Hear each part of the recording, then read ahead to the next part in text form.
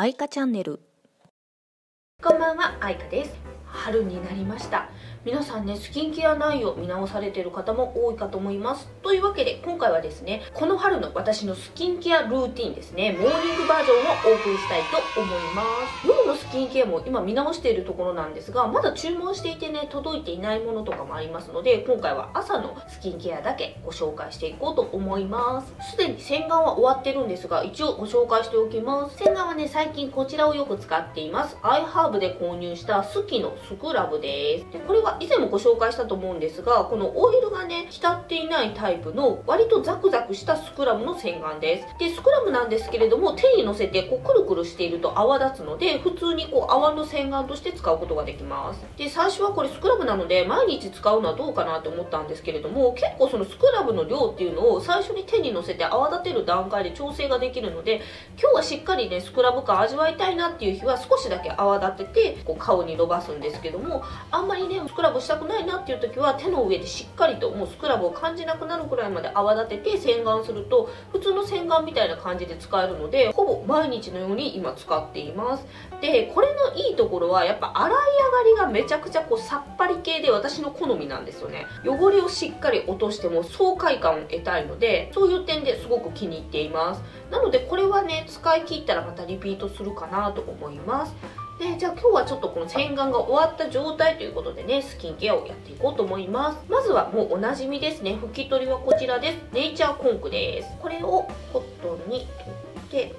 コットンはまあその日によっていろいろね使い分けてるんですけどこれはねあのアットコスメののカエルがついているコットンですね。これを使っています。たくさんなんかプレゼントとかでもいただいたので最近はあのスックのコットンとかも使いました。あれはねプレスがやっぱりちゃんとしていてこれより毛羽立ちが少なくて使いやすかったです。このねアットコスメのは柔らかいんですけどやっぱちょっと毛羽立ちが若干気になるのであんまりね多分本当はこういう肌の上を滑らせるような動きには向いてないのかもしれないんですけども。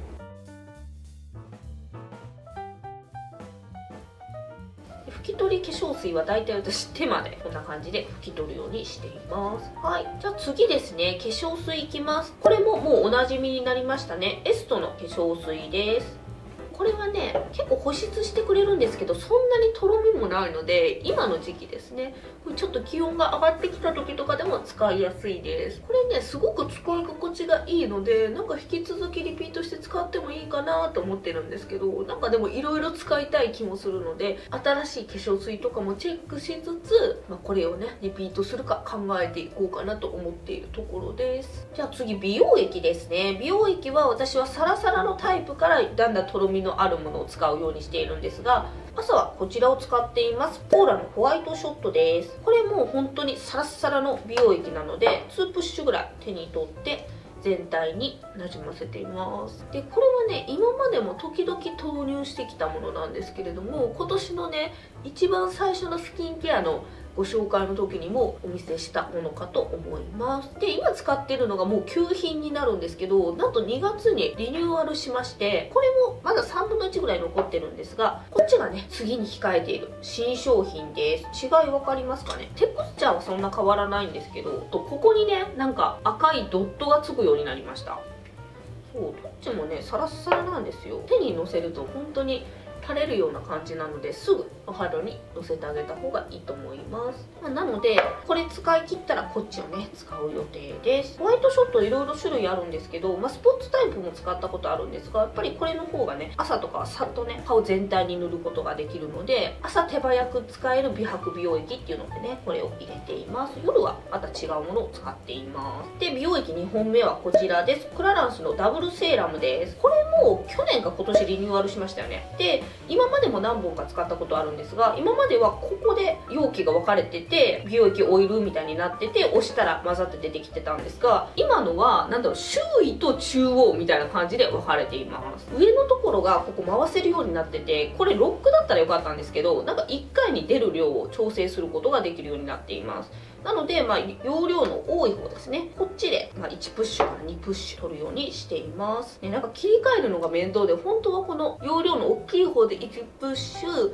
少ない方で1プッシュぐらいが理想的な量かなと思うんですけどまあ量の多い方で1プッシュと半プッシュぐらいしています。なので残念ながらね上のメモリはほとんど使っていません。これでちょっとこのオイル感をね足せるので私はこう皮脂がもともと足りない肌質なので朝でもねオイルを入れた方が調子がいいです。じゃあ次ですね。アイクリーム。こちら今使っています。ベネフィークのレチノリフトジーニアスです。これもね比較的新しい商品かと思います。ベネフィークは前も美容液使っててすごくね良かったんですけどこのクリームもめちゃくちゃ使いやすいです。こっくりしててなんかこうこうやった時にこうトロンとね伸びるようなテクスチャーなんですよね。目に伸ばして余ったらなんかほうれい線とか口とかに塗っています。ねやっぱ目周り乾燥するので私はね割と目周り朝でもしっかりアイクリームつけて保湿した方がいいっていう風に言われました。目の周りそんなにねこの特に目の下とかいっぱいコンシーラーとか塗らないんであれば逆にあんまりねオイリーなの使うとよれる原因になったりするかもしれないんですけど私の場合このあざのとこにコンシーラーを厚塗りするのでしっかりめに保湿しておかないとそこがね乾燥しちゃうんですよね。なので朝でもこういうオイル分がしっかりあるクリームを使うようにしています。はい。じゃあ最後ですねこちらです。ジュリークのデイケアクリームです。これはね視聴者さんにいただいたものなんですけれどもしっかり使っています。ねジュリークのアイテムはやっぱ香りがいいです。なんかバラの香りがします。でこれも油分がちゃんとあるんですけれどもそんなにこうナイトクリームほどはベタベタしなくて本当に朝使うのにちょうどいいクリームだなと思います。朝でもねやっぱりみずみずしい感じのやつだとちょっとね不安なんですよ。少しオイル感が欲しいんですよ。でここまでできたら最後にですねこちらのディオールのリップスクラブですね。これを使っておきます。これはスクラブなんですけど少し色がついているので結構日中に使うことが多いです。こんな感じリップグローをつけたような発色です。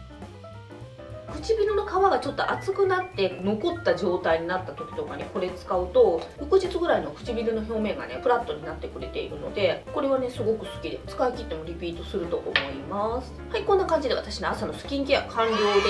で冬と比べても私はねオイルの量的にはあんまり変わってないと思うので春はまだねこっくりめのスキンケアになっています。これがまあ真夏になってくるともう少し化粧水のテクスチャーが軽くなったりとかオイルをちょっと控えるっていうことはあるかもしれない。れないんですけども基本的に、まあ、化粧水は保湿系で美白美容液を1本入れてエイジングケア美容液クリームはちょっとオイル感のあるものっていうラインナップで使っていくと思うんですけどもまたねこれ真夏に向けて気温上がってきて中身変わったらねご紹介しようと思います。この時期スキンケアもねいろんなブランドのアイテムが新しく出たりとかリニューアルしたりとかしていると思いますのでこんなのね取り入れたよっていうのがあればぜひコメントで教えてください。今日も最後まで見てくださってありがとうございます。また次の動画でお会いしましょう。あいかでした。